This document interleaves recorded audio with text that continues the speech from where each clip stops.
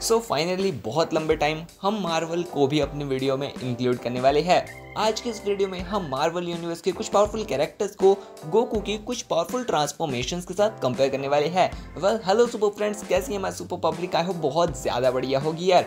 Marvel के cosmic beings versus Goku की powerful transformation कौन ज़्यादा पावरफुल है? आज के इस वीडियो में हम यही देखने वाले हैं। तो मार्वल की तरफ़ से यहाँ पर हमने कैरेक्टर लिए हैं Rune King Thor the One Below All Living Tribunal and Beyonder और जो गोकू की पावरफुल ट्रांसफॉर्मेशन है, वो है super Saiyan twenty thousand super Saiyan infinity future Goku and angel Goku और ये सारी ही बैटल सेपरेट सेपरेट होगी, जिससे हमें बैटल का एक क्लियर विनर देखने को मिलेगा। वैसे अगर तुम्हें ये वीडियो पसंद आती है तो वीडियो को लाइक करके चैनल को सब्सक्राइब ज़रूर कर देना। तो चलो अब इस वीडियो को शुरू करते हैं। सबसे पहले बैटल की बात करें तो ये रहने वाली है Rune King Thor versus angel Goku के बीच में। सो अगर सबसे पहले बात करें रियन किंग थॉर की पावर एंड एबिलिटीज की तो रियन किंग थॉर के पास रियन मैजिक है, जिससे वो रियलिटी को मैनिपुलेट कर सकता है, यानी रियलिटी में अपने हिसाब से छेड़छाड़ कर सकता है, और तो और ये टाइम एंड स्पेस को मैनिपुलेट कर सकता है। ये इतना ज़्यादा पावरफुल हो चुका है कि ये पास्ट प्रेजेंट एंड फ्यूचर को एक साथ देख सकता है। रियन किंग थॉर ने खुद को पूरे यूनिवर्स के साथ मर्ज कर लिया है, जिस वजह से यूनिवर्स में होने वाली छोटी से छोटी एक्टिविटी भी इसको इजीली पता लग जाती है। इसको यूनिवर्सल लेवल में ओमनीपोटेंट ओमनीप्रेजेंट एंड ओमनीसियंट बताया गया है। ड्यून किंग थॉर के पास ऑड फोर्स है, जिसके एक नॉर्मल अटैक भर से ये गैलेक्सीज को डिस्ट्रॉय कर सकता है। लेकिन दूसरी तरफ़ है एंजल गोकू जो कि अभी एंजल के लेवल पर जा चुका है, जो time and space and reality को मैनिपुलेट कर सकता है। एंजल गोकू ने अल्ट्रा इंस्टेंट को पूरी तरह मास्टर कर लिया है, और इस वक्त इसका अल्ट्रा इंस्टेंट ग्रैंड प्रिस्ट के लेवल के जीता है तो आप समझ ही सकते हो इसकी स्पीड बहुत ज़्यादा है। एंजल गोकू की पावर्स में कोई लिमिटेशन नहीं है। जैसे हमें देखने को मिलता है ना कि एंजल्स की पावर में लिमिटेशन है, वैसा इसकी पावर्स में नहीं है। एंजल गोकू को हैंड टू हैंड में हराना नेक्स्ट टू इम्पॉसिबल है। एंजल गोकू मल्टी यूनिवर्सेस के अंदर अपनी इच्छा अनुसार आ जा सकता है और मल्टी यूनिवर्सेस के अंदर ऐसा कोई भी नहीं है जो इसको हरा सकता है। तो भी बात आती है इन दोनों के बीच में बैटल को कौन विन करेगा? सो यार देखो, यहाँ पर इनके फीड्स क्लियरली खुद ही बता रहे हैं कि इस बैटल को कौन विन करेगा। जहाँ एक तरफ़ फ्यून किंग को यूनिवर्सल लेवल बताया है, वहीं दूसरी तरफ़ एंजल गोकू को मल्टी यूनिवर्सल लेवल कैरेक्टर बताया है। वास्तविकता के साथ जागो। इस शराब दुनिया में चीज़ें ऐसे नहीं चलती जैसे आप चाहते हो।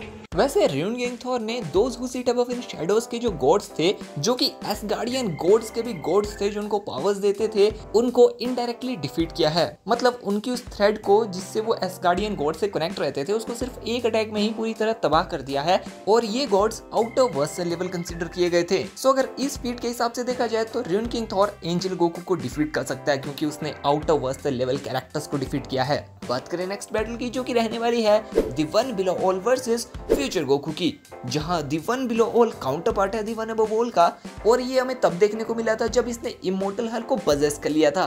दी वन बिलो ऑल नाई ओमनिपोटेंट बीइंग है, और जैसे the one above all light है तो वन बिलो ऑल एक डार्कनेस है, अंधकार है। वन बिलो ऑल भी टाइम स्पेस एंड रियलिटी को अपने हिसाब से बदल सकता है। इवन ये डार्कनेस मैनिपुलेशन वॉइड मैनिपुलेशन जैसी पावर्स भी रखता है, और इसने इमोटल हल को पूरी तरह इमोटल बना दिया था, यानी कि हल्क चाह भी नहीं मर सकता था। और तो और उसकी स्ट्रेंथ की कोई लिमिट ही नहीं रही थी। वो यूनिवर्स इसको अपने सिर्फ़ एक चुटकी में तबाह करने की शक्ति रखता है। दिवन बिलोल मल्टीवर्स के अंदर कुछ भी कर सकता है। लेकिन इसकी सबसे बड़ी वीकनेस ये है कि ये खुद एक्चुअल वर्ल्ड के अंदर नहीं आ सकता है।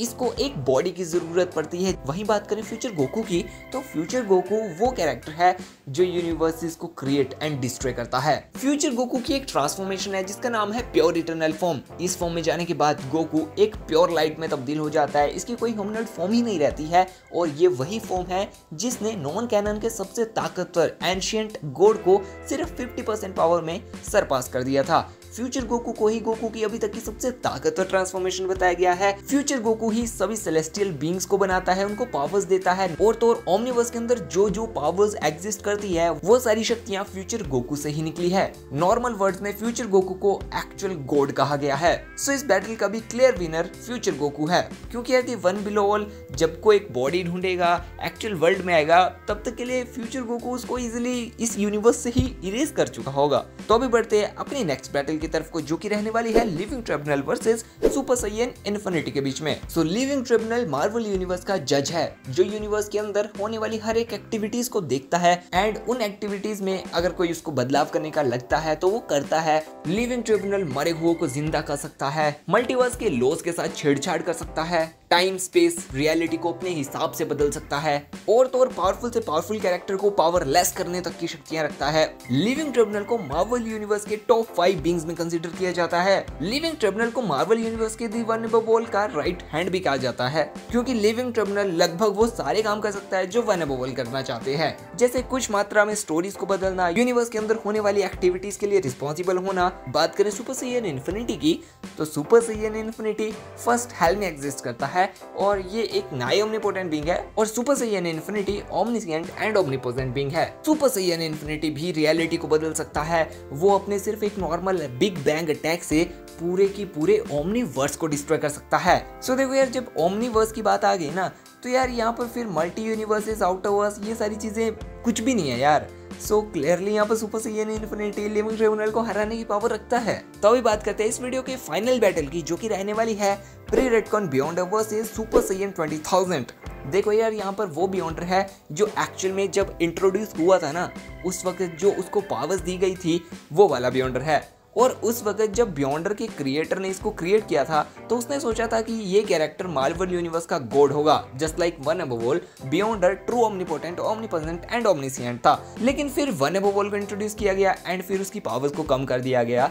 और अभी ये सेकंड पावरफुल बींग है मार्वल यूनिवर्स का। लेकिन हम प्री रेडकॉन की बात करें तो वो एक्चुअल में उस टाइम का ट्रू गॉड था, जो कि अपने क्रिएटर को रिप्रेजेंट करता था। और इसके ओपोनेंट में है सुपर सैयन 20000 वैसे सुपर सैयन 20000 एक ओमनीपोटेंट बींग है, क्योंकि यार ये obviously in future super Saiyan infinity को हरा देगा और सुपर सैयन 20000 भी फ़र्स्ट हेल में एग्जिस्ट करता है। इसने सुपर सैयन इन्फिनिटी के साथ थाउज़ेंड ईयर्स तक बैटल करी थी। बेशक मैं इसकी तुम्हें कितनी भी पावर्स बता दूँ रियलिटी को मैनिपुलेट करता है conceptual manipulation conceptual manipulation information manipulation even इसके पास प्लॉट आर्मर भी है, जिसकी वजह से इसके ऊपर प्लॉट मैनिपुलेशन की पावर का यूज़ भी कर लो, तब भी इसको कुछ नहीं होगा। लेकिन फिर भी यार प्री रेडकॉन बियॉन्डर उस टाइम के क्रिएटर को रिप्रेजेंट करता था सो क्लियरली यार प्री रेडकॉन बियॉन्डर सुपर सी ट्वेंटी थाउज़ेंड को हरा देगा, क्योंकि यहाँ पर फिर कॉन्सेप्ट लगता है canon and non canon god का।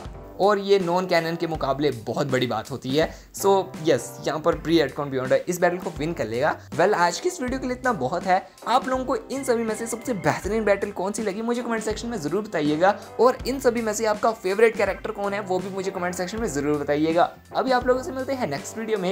ये वीडियो अच्छी लगी तो वीडियो को लाइक करके चैनल को सब्सक्राइब ज़रूर कर देना। And thanks for watching